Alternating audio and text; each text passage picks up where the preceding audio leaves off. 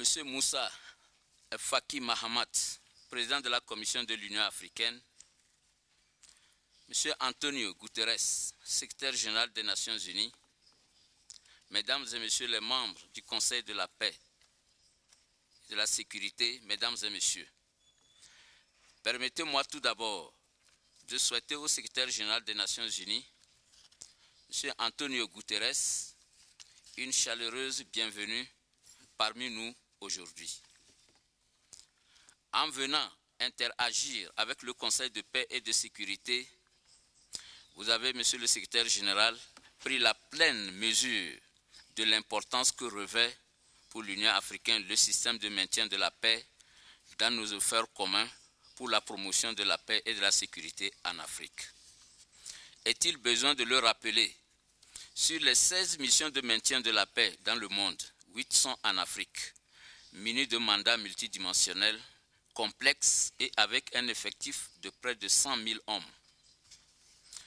En procédant à une revue régulière du maintien de la paix dans le monde, les Nations Unies démontrent ainsi leur attachement à cet instrument qu'il convient d'adapter aux conditions et aux besoins de notre temps.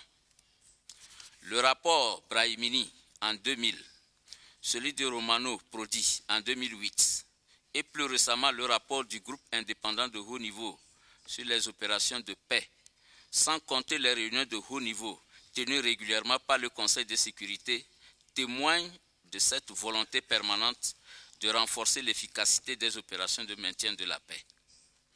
Mesdames et Messieurs les membres du Conseil, Monsieur le Secrétaire général, Monsieur le Président de la Commission, nos échanges aujourd'hui, comme vous le savez, entrent dans le cadre de la revue que le Secrétariat des Nations Unies est en train de conduire et dont les conclusions seront portées devant le Conseil de sécurité de l'Assemblée générale des Nations unies en septembre prochain.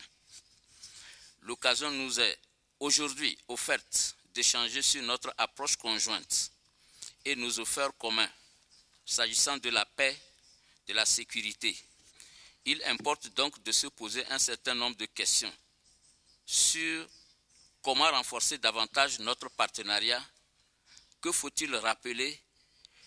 Vous, Monsieur le Secrétaire général et Monsieur le Président de la Commission, avez décidé de hisser à un niveau plus élevé en avril 2017. À mon avis, nous devons de répondre aux questions suivantes. Comment répondre efficacement à la lancinante question du financement prévisible et durable du maintien de la paix, y compris les opérations de soutien à la paix conduites par l'Union africaine avec l'autorisation des Nations unies. La décision historique de l'Union africaine de financer 25% de ses efforts de paix sur le continent est en cours de concrétisation. À cet égard, nous nous réjouissons de constater que le Fonds de la paix, institué depuis 1993, a reçu un niveau de contribution sans précédent. Nous sommes confiants que, pour leur part, les Nations Unies maintiendront le financement à hauteur de 115% de ces opérations comme convenu, malgré le contexte actuel dont nous sommes tous conscients. La cohérence de l'Union, lors de sa dernière session ordinaire à Nouakchott, a réaffirmé la volonté et la détermination de l'Union africaine à prendre en charge son financement à travers les réformes institutionnelles qui s'imposent. Il s'agit également d'explorer les voies et moyens qui nous permettent de tirer les meilleurs avantages possibles de notre complémentarité dans le cadre d'une bonne division du travail entre nous. Nous le savons bien, le contexte dans lequel nous déployons nos missions de sécurité a beaucoup évolué ces dernières années. La situation en Somalie, au Mali et dans le bassin du lac Tchad appelle de notre part une meilleure allocation des rôles en fonction de nos doctrines respectives.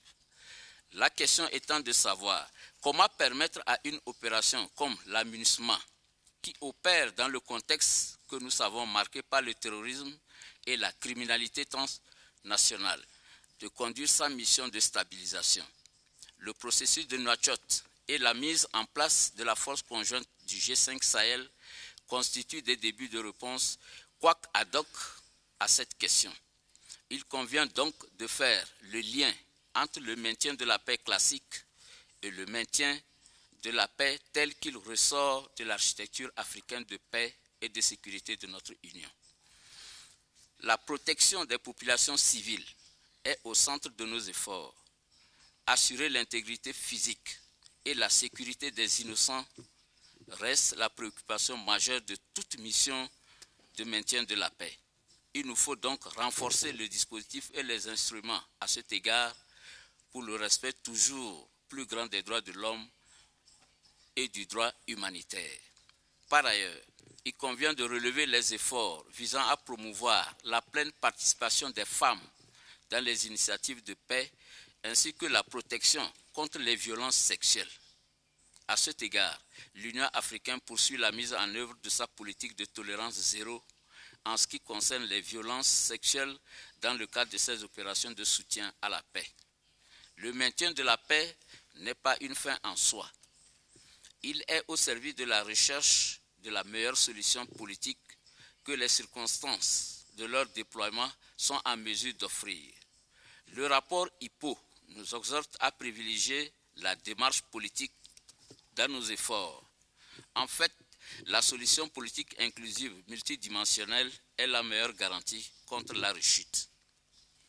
Mesdames et Messieurs les membres du Conseil, Monsieur le Secrétaire général, Monsieur le Président de la Commission, l'action pour la paix que vous avez initiée devrait certainement pouvoir répondre aux questions que nous posons.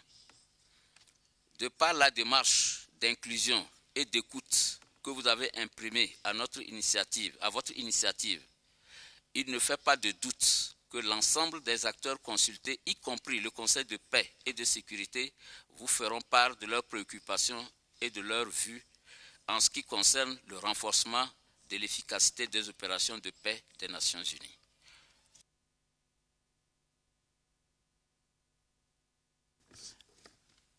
Après cette allocation, je vais donner la parole au président de la commission de faire ses remarques. Merci, Monsieur le Président. Monsieur le Secrétaire général, Monsieur le Président du Conseil paix et sécurité de l'Union africaine, Mesdames et Messieurs les ambassadeurs, je voudrais remercier le Président ainsi que les membres du Conseil de l'opportunité qui nous est donnée, le Secrétaire général des Nations Unies et moi-même, de nous adresser à vous. Vous savez, depuis ce matin, nous tenons la deuxième conférence annuelle entre l'Union africaine et, les Nations unies. Nous avions eu l'occasion de débattre longuement des sujets d'intérêt commun, notamment ceux relatifs à la paix et à la sécurité. Notre présence commune et certainement les communications que nous allons vous faire marque, à, mon avis, une nouvelle étape dans la relation déjà étroite entre l'Union africaine et les Nations unies. Depuis sa prise de fonction, le secrétaire général des Nations Unies, son Excellence Antonio Guterres, a montré un engagement particulier au partenariat avec l'Union africaine. Je voudrais lui témoigner toute notre reconnaissance. La signature en avril euh, de l'an dernier d'un cadre de coopération en matière de paix et de sécurité a clairement marqué euh, ce tournant. De nombreuses initiatives ont depuis euh, été prises qui ont permis d'imprimer une dynamique renforcée à notre partenariat. Je voudrais citer entre autres la mise en place d'une équipe conjointe pour réfléchir euh, sur la question du financement de la MISOM, la pratique de la publication des communiqués conjoints sur les questions d'intérêt mutuel, ainsi que la conduite des visites conjointes sur le terrain. Toutes ces initiatives sont le reflet d'une réalité incontournable. La complexité des défis auxquels nous sommes confrontés est telle qu'aucune organisation ne peut à elle seule y faire face efficacement. Donc pour nous, euh, la collaboration est un impératif. Rien n'illustre mieux cet impératif que la question du maintien de la paix, bien entendu. Les opérations de paix des Nations Unies ont joué et continuent de jouer un rôle essentiel dans la stabilisation des zones en conflit. Leur action permet de jeter les bases d'une paix durable. Je voudrais ici réitérer notre profonde admiration au personnel civil et en uniforme de ces opérations pour leur engagement et les sacrifices qu'ils consentent quotidiennement. Dans le même temps, la nature des conflits et crises que connaît le continent africain a beaucoup changé. L'émergence de groupes terroristes et criminels déterminés à s'aborder toute perspective de paix, l'absence d'un nombre de situations d'une véritable paix à maintenir et le caractère massif des atrocités commises contre les populations civiles ont mis en relief la nécessité d'approches beaucoup plus robustes qui vont bien au-delà des principes sur lesquels le maintien de la paix a traditionnellement reposé. Tel est le contexte qui a présidé à l'implication de plus en plus forte de l'Union africaine et de ses mécanismes régionaux dans le déploiement et la conduite des opérations de soutien à la paix. De la Somalie au Sahel, en passant par le bassin du lac Tchad, les opérations menées par l'Union africaine et ses mécanismes régionaux ont tendu à imposer la paix et à créer les conditions d'un déploiement éventuel d'opérations onusiennes. Si ces opérations ont apporté une contribution tangible à la quête de la paix, le problème de leur financement se pose avec acuité. L'Union africaine s'est engagée à faire davantage à cet égard, mais cela n'absout en rien le Conseil de sécurité des Nations unies de la responsabilité principale qui est la sienne dans le maintien de la paix et de la sécurité internationale. J'ai saisi cette occasion pour exprimer à nouveau la gratitude de l'Union africaine au secrétaire général et à ses collaborateurs pour leur engagement sans faille en vue du financement durable et prévisible des opérations africaines de soutien à la paix. Je forme l'espoir d'une avancée décisive sur cette question, je l'espère avant la fin de cette année. La complémentarité entre l'Union africaine et les Nations unies s'observe sur bien d'autres aspects de la quête de la paix, qu'il s'agisse de la République démocratique du Congo, du Soudan du Sud, de la République centrafricaine, du Mali, du Sahel, de la Somalie et de Madagascar, pour ne citer que quelques exemples. Je voudrais saisir cette occasion pour ajouter que le sommet de l'Union africaine, qui vient de se conclure à Nouakchott, a adopté d'importantes décisions sur la question du Sahara occidental et le conflit en Libye, ouvrant la voie à une coopération plus étroite entre nos deux institutions, notamment sur ces dossiers. D'évidence, des avancées importantes ont été accomplies par l'Union africaine et les Nations unies dans leur partenariat. Il n'en reste pas moins que nous pouvons et devons faire davantage dans l'esprit du cadre de coopération dans le domaine de la paix et de la sécurité signé en avril 2017. Nous devons appuyer plus fortement les efforts de paix, encourager ceux qui veulent sortir de la logique de confrontation pour offrir des perspectives plus prometteuses. Nous devons le faire en ayant en vue l'objectif de faire taire les armes à l'horizon 2020. Les évolutions en cours entre l'Érythrée et l'Éthiopie sont particulièrement encourageantes. De même, le processus engagé par les dirigeants des Ligades en vue de hâter le retour de la paix au Soudan du Sud semble tout aussi promoteur, même si d'expérience, la vigilance doit être démise. Excellencies, the second annual conference between the African Union and the United Nations made it possible to, talk, to take stock of our efforts and to agree on steps to be taken to strengthen our partnership. Several avenues have been explored, including increasing the number of joint visit, visits undertaken by the African Union Commission and the United Nations Secretariat. Systematizing the issuance of joint African United Union United Nations communi communique on issues of mutual interest, strengthening operational coordination between African Union and United Nations missions in the field, and appointing, where necessary, joint special envoys. At the same time, it is critical to strengthen collaboration between the African Union Peace and Security Council and the United Nations Security Council. I look forward to the upcoming meeting between the two councils in New York. I would like to conclude by reaffirming the commitment of the African Union to continue to do everything in its power to further strengthen the partnership with the United Nations. I thank you. Merci beaucoup, Monsieur le Président de la Commission, de vos remarques. Et je voudrais à présent donner la parole au secrétaire général pour son message. Merci. Distinguished Chairperson of the Council, distinguished Chairperson of the Commission, Excellencies, all protocol observed, it is for me an enormous pleasure to be here meeting with uh, the Peace and Security Council of the African Union. Indeed, the African Union is clearly the most important strategic partner of the United Nations. And this is true in peace and security, as it is true in sustainable development, and it's true in human rights, all the areas of activity of the United Nations. I usually say that if the UN fails in Africa, the UN fails. But at the same time, I'm a true believer of the African leadership as a basic condition for the solution of African problems. And so it is clear that for the UN to be able to deliver according to its mandate, the partnership the Af with the African Union is an absolute must. And I'm very happy to be able to share with all of you this deep belief.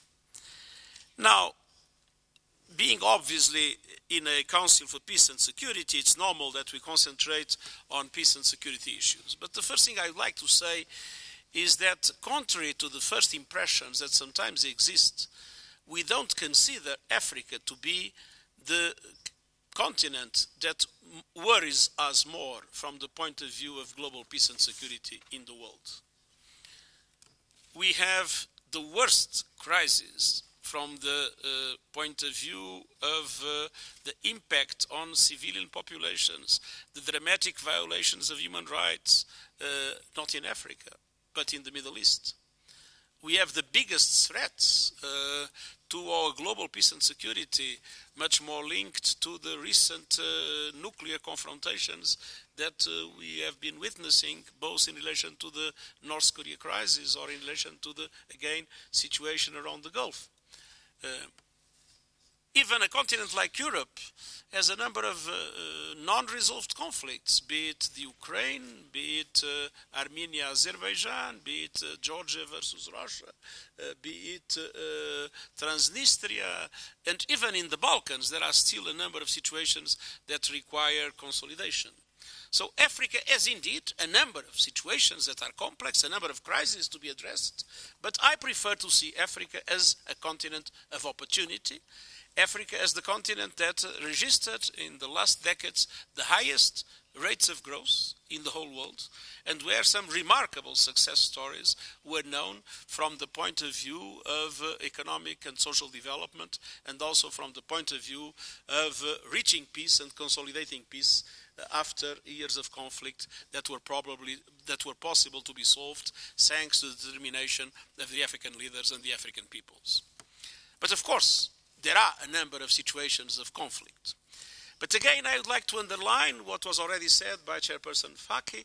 Uh, there is a wind blowing that brings us new hope what has happened in relation to Eritrea and, uh, um, uh, uh the, uh, and Ethiopia, and especially the absolutely uh, amazing reception that the people of um, it, Eritrea just um, expressed in relation to the Ethiopian Prime Minister in the visit of yesterday, showing the deep will of the people for peace.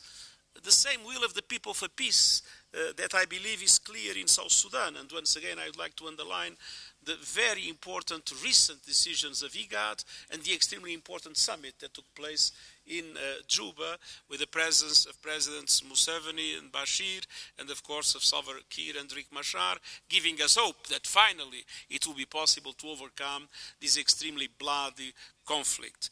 Uh, but also the fact that uh, in some situations where we thought the political um, uh, developments were blocked, uh, we see that uh, presidents have announced that they would not be candidates anymore, paving the way for new political solutions. So indeed, there is a wind of hope that is blowing, and I think it's important to build um, uh, upon this wind of hope and to work closely together in order to make sure that the positive perspectives that are being opened in the continent translate themselves into new success stories uh, in relation to which we all can be proud.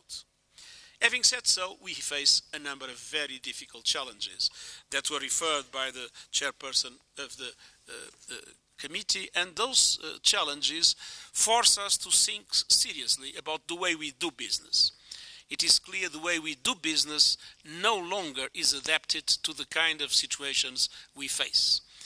Um, first of all, in relation to the traditional peacekeeping activities.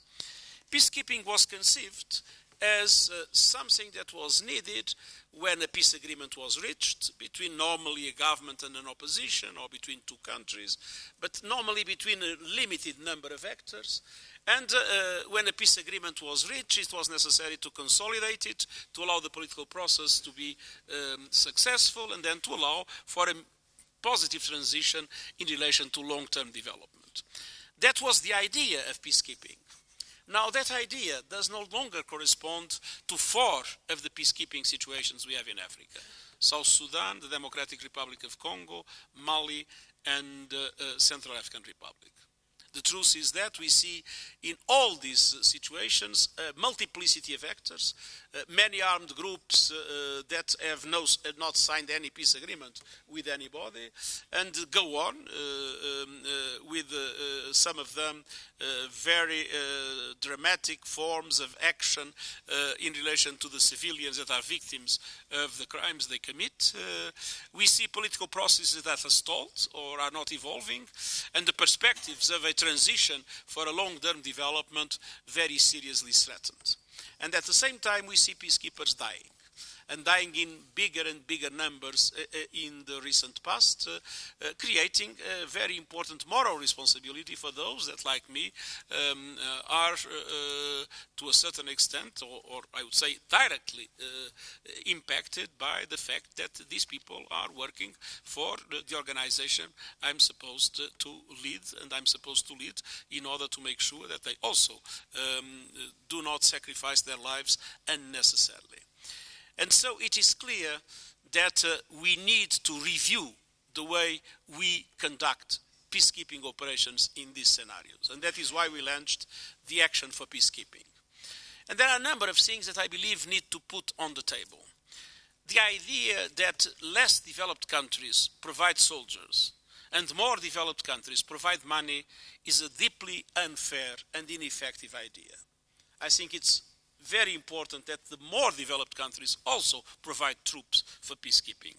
And at the same time, that the resources are made available in order to allow for those less developed countries that generously contribute for peacekeeping operations to have access to the training mechanisms that are needed, to the equipment that are essential, and to the other forms of support that are required for their soldiers or their police agents to be able to deliver uh, in conditions that are safe for them and that enable them to also protect the civilians they are supposed to protect.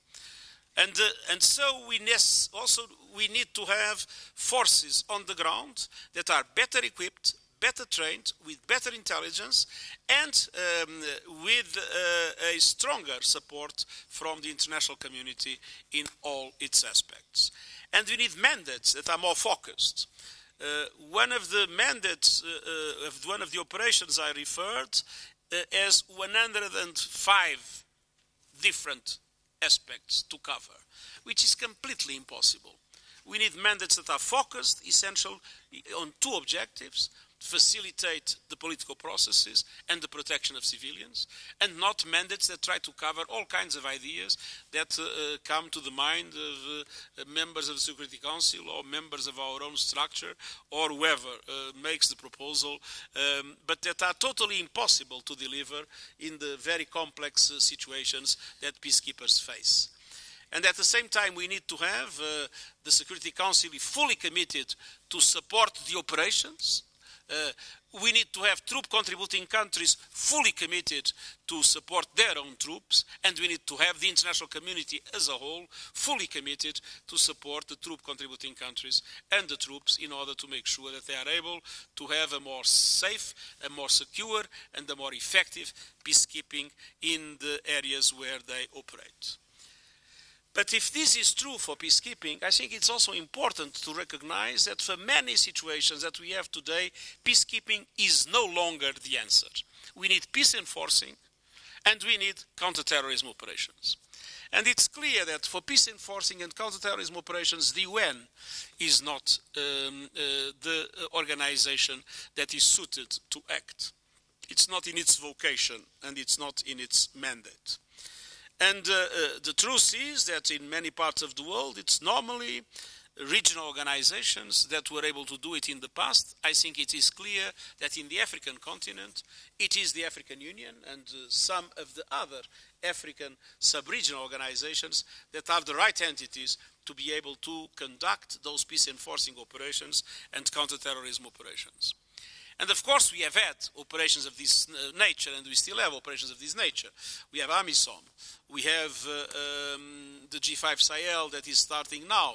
We have operations taking place in Lake Chad, as was referred by Chairperson Faki. But let's be clear those operations, to act effectively, would require two kinds of things. First, clear mandates. And in my opinion, and as far as I have been communicating it to the Security Council whenever necessary, and probably in these situations it would be necessary, and the Chapter 7 of the Charter of the United Nations, and not only clear mandates under Chapter 7, but assessed contributions, uh, like peacekeeping operations have assessed contributions, in order to finance in a fully predictable way those operations.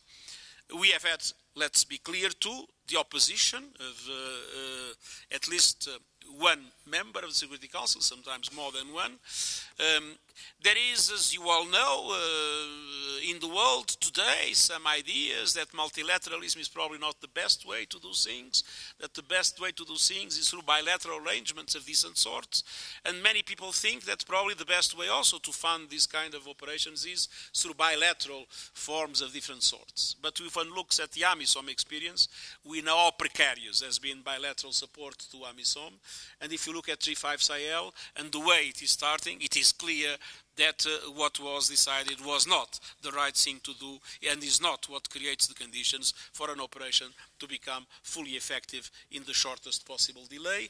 And we are perfectly aware of the enormous challenge that the G5 Sahel would face in a situation in which we have large number of terrorist groups uh, linked to all forms of criminality and in an area that in which the problems are expanding like a, a, a oil stain uh, with uh, the uh, interrelation to different kinds of religious, ethnic, uh, uh, and other problems that make that region particularly difficult to address and that require also a more comprehensive approach, not only from the security perspective, but also from the development perspective. And uh, I want to say that I do not give up. I will go on telling what I believe is the truth. I will go on telling that it is essential to have operations of this sort, that the African Union is the entity that is better equipped to conduct these operations, or in some situations, sub-regional organizations that are linked to the African Union, and that the only way for those operations to be uh, fully effective is if they have clarity in the mandates and clarity in the financing of uh, what needs to be done. Um, unfortunately, the Secretary of the United Nations has very little power. Um, uh, it has some persuasion capacity when people want to be persuaded, uh, but that persuasion capacity is largely dependent on the will of those that um, might be or not be persuaded, and uh, some capacity of exercise good offices, but by definitions, good offices do not necessarily mean that uh, they lead to a success. But here is an area where, uh, in any case, I want to say that the cooperation between the African Union and the UN has largely multiplied my own capacity to do useful things. Because it is completely different uh, to, uh, uh in the context of uh, an African situation where there is a difficult uh, political process with elections coming, with uh, problems of trust uh, among the different actors, with uh, um, risks of uh, elections degenerating into serious political crises and eventually even into conflicts. It's completely different to have one person coming from uh, New York on behalf of the United Nations or to have a partnership in which an envoy of the African Union, together an envoy of uh, the uh, Europe, uh, of the uh, uh, United Nations, and eventually, I'm thinking about Madagascar today, an envoy of SADC, and the three work together for the good offices, not only to add, but to multiply there is a kind of a exponential effect when we work together. We not only add our efforts, we really multiply them. And the fact that in so many scenarios today, we are really not only working together, but doing it with the same objectives and with the, the uh, uh, same clear strategies is extremely important. And I believe again that the African leadership is essential the uh, difficult process of uh, mediation in the context of Central African Republic is now conducted by the African Union with, with our support. It is for me that uh, clear that the African Union is much better suited to do it than the United Nations itself. And the same can apply in different other circumstances. And the fact that we are able to detect together the problems that exist, to look uh, with common, uh, uh, common perspectives of early warning for possible early action to take place, and doing it in the respect for the sovereignty of the states, but combining our good offices in our, uh, offering our capacity of prevention and mediation is, in my opinion, a very important tool that our excellent cooperation has been uh, um, um multiplying in the recent past and goes far beyond the more spectacular, I would say, impact of peacekeeping operations or peace enforcing and counterterrorism operations. And I would like to reassure this Council that uh, working together as the African Union is for me an absolute priority and that I do see the results of our cooperation being something that we would never be able to achieve by our own. And I want to express to um, the chairperson of the uh, African Commission, my very deep gratitude for what has been an extremely frank, open, and uh, very constructive cooperation in which we really have been able to see eye to eye and to work together for the same purpose and with the same commitment uh, and the same perspective and strategy. At the same time, I would like to say how much I am grateful to the African group in uh, uh, New York uh, and in Geneva, but especially more recently in New York. Your colleagues that uh, represent the African countries in uh, the United Nations General Assembly for the very important support they have been providing to our reform process. The African Group has been clearly the most supportive of my own uh, reform initiatives, and I want to express here once again my very deep gratitude and appreciation and wish all of you the best success in the very important work you develop for the peace and security of the African continent. Thank you.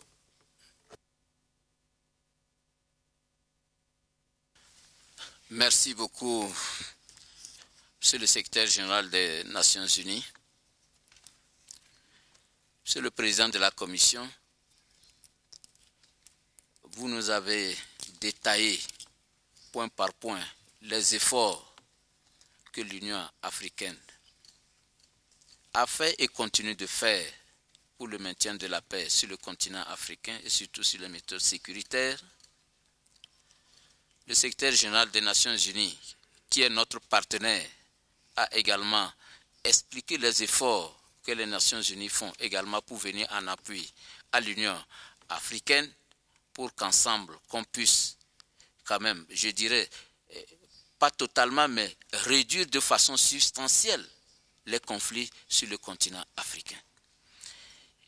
Et je crois qu'après ces exposés, étant donné que nous avons eu la chance d'avoir notre partenaire, ce n'est pas tous les jours qu'il est avec nous, et je voudrais ouvrir le débat et donner la chance aux collègues pour qu'ils puissent poser des questions et, pour qu'on puisse, euh, au moins au sortir de cette salle, avoir une idée de comment nous pouvons nous organiser pour amener la paix euh, sur le continent africain. Il y a eu beaucoup d'initiatives, dont la dernière est l'initiative Faire taire les armes d'ici à l'horizon 2020. nous y poursuivons toujours. Je vous remercie.